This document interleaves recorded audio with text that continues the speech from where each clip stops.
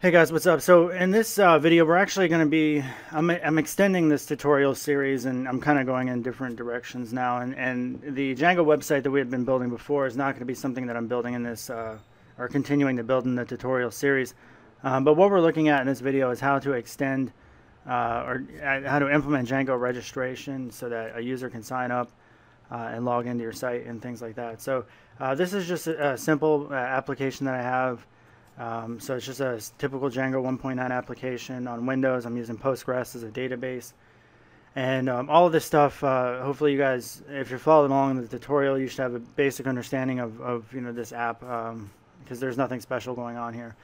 Um, so, all right, that said, let's see. Um, first things first, we need to go to our command line. And I need to go ahead and pull that up. So...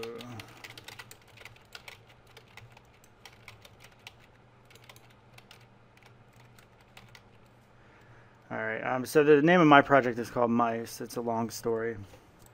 Alright, so if you're using a virtual environment, then you have to follow this step. You go into your virtual environment and you need to activate it, which is under scripts if you're in Windows, and I just say activate, so now I'm in my virtual environment. If you don't have a virtual environment, don't worry about any of this stuff, but then we need to do pip install Django registration.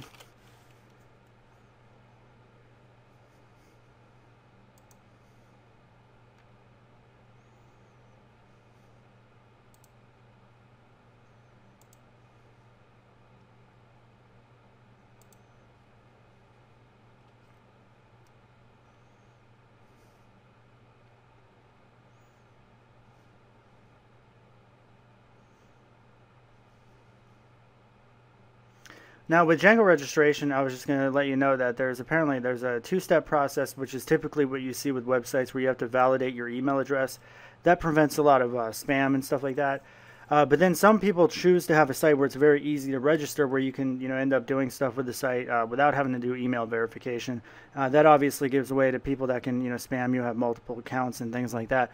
Uh, one such site is Reddit.com. You can see like um, with Reddit, you don't have to actually verify your email, so you can create new accounts very easily. Uh, but they have other mechanisms, I guess, to try to fight the spam that they get.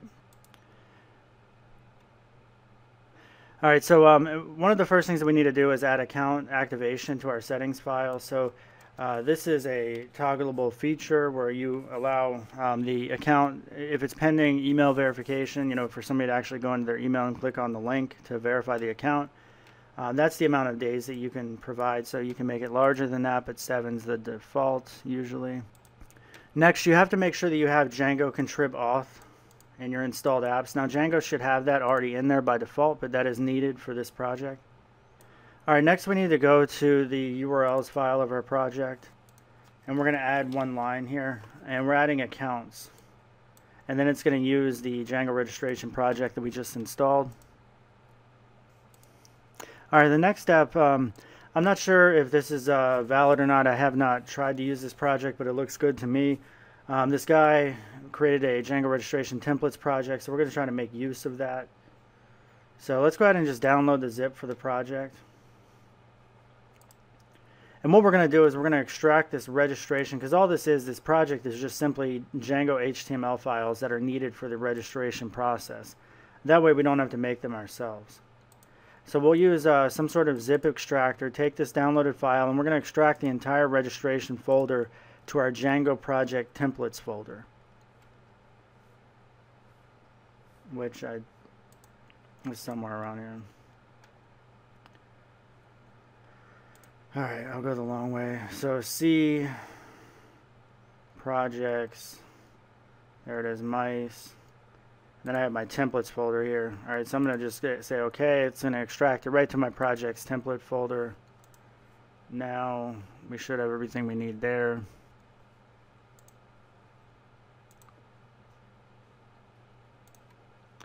All right, let's go ahead and try to uh, restart our application. Well, actually, with mine, I'm using um, PyCharm, which should reset it every time. But I'm going to go ahead and visit this link.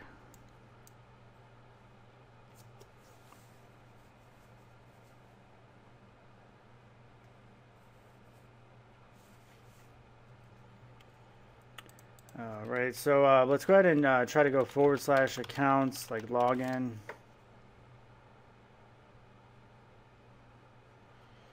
All right, it looks like it's not finding our templates. That's not cool. All right, so if you look at uh, what we have here, you can see that the actual template in the registration folder is actually being hit, but where it's missing is it's saying it's looking for this base.html, which doesn't exist. And uh, we don't want, uh, so everybody's site is different, right? So you most likely have a uh, layouts folder. So let's look at my template directory. I have a layout folder, which is like my main layout. So I have like the layout one. I guess this is my main layout. I don't know. Um, but yeah, we'll just use layout one. So what I need to do is I need to go in. This is going to be kind of tedious, but I have to go in instead of saying all this crap, I have to say forward slash uh, layout slash um, layout one dot html. And I'll just copy this whole line.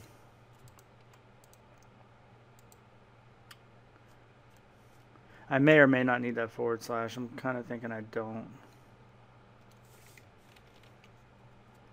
For right now, let's just go ahead and try login. So that way, since that was the page we were testing. So if I go ahead and save that, I don't think I need that first forward slash. I don't remember.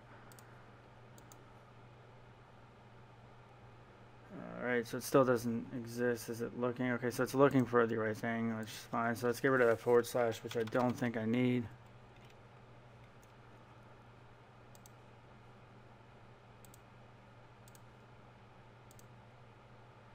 Alright, there we go. Alright, so this looks uh, obviously terrible. If you're using Bootstrap, uh, what you would want to do is uh, go into go into here. Uh, Bootstrap, you should put everything inside like a div container. Oh wait, I'm sorry, div class equal container.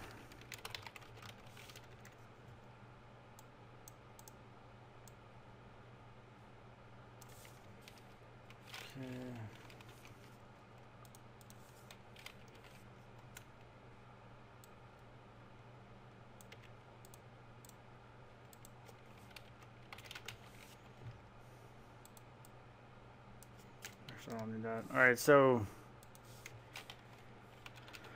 hell. All right, so I don't feel like doing all this right now, but um, you see if I put in a container now. Now uh, changes. In fact, while I'm in here, just in case you guys are using Bootstrap as well, all your input buttons and stuff like that should be of class equal form control for nice styling equal Shit. Sorry, the sun's setting where I'm living right now, and I need to turn on the light because I can't see a damn thing. I was looking at my keyboard, I couldn't really see anything. Actually, since this input down here is a button, we want it to be like BTN and BTN primary. Alright, let's see what we got here.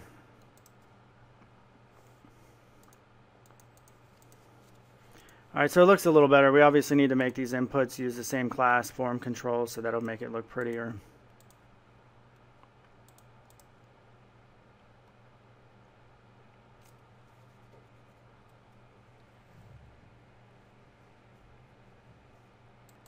Now, I don't want to get too much into styling the form. If you guys need help in, in styling the registration form, let me know. But I, I, feel like this, this tutorial is getting off on a tangent when we're talking about styling instead of actually figuring out, figuring out how to implement this. Um, so for, for now, let's just go ahead and do the extend statement at the top. And we're going to go ahead and replace all these uh, with the right master page for it to look at.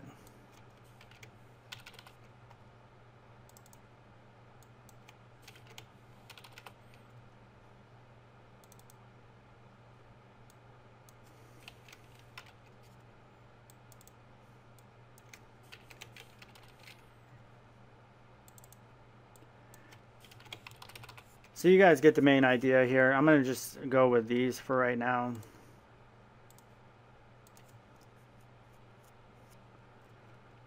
And we're going to go, instead of login, we'll go to register. And we're not going to worry about the styling, but my username, I'll just say test1. I'll use my Gmail address.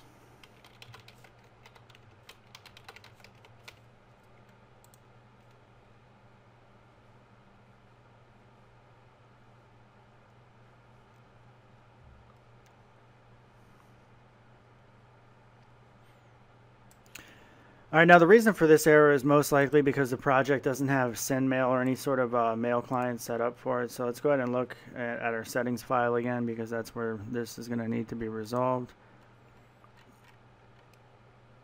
Yeah, you can see there's nothing in here that has anything to do with email.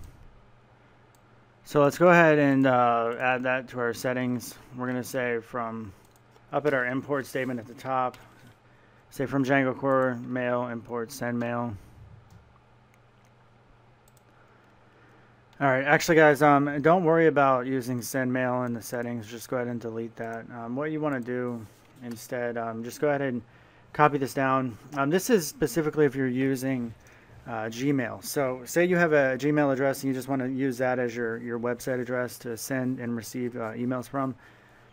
That would be fine. Um, a lot of people use mail servers or pay or do something like that. And um, I typically just try to use my Gmail address, but it's not, you know, all that professional. So anyway, the point is though is that no matter what email address or mail server you're trying to use the settings are going to be slightly different. But for Django uh, the good news is you just have to use uh, these settings here. Um, but you're it's going to be different depending on what you're using. So if you want to use Gmail like this I'm, I'm 100% sure it works with Gmail. I just tested it. Um, email port 587 uh, make sure you do all these settings here. Um, make sure you're using your email backend um, I put, you know, make sure you have your right password down here. So this will be your password. And uh, just a, a, test, we'll say default from email like JobMice. Um, so this looks, this all looks good. I'm gonna go ahead and put in my real password and then go ahead and um, close my settings file and then we'll, we'll test it out. All right, so now that I've done that, let's go ahead and uh, start the, the site. We'll go to register. My username will just be Chris Hawkes. Email, make sure you give the right email address. It has to be a valid email in order for you to receive it. And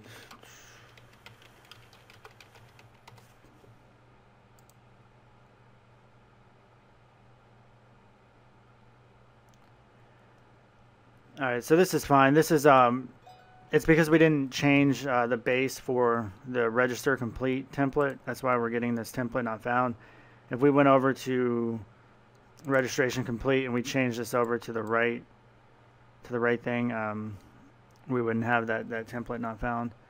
Uh, but you can see that um, if I go ahead and pull up my Gmail account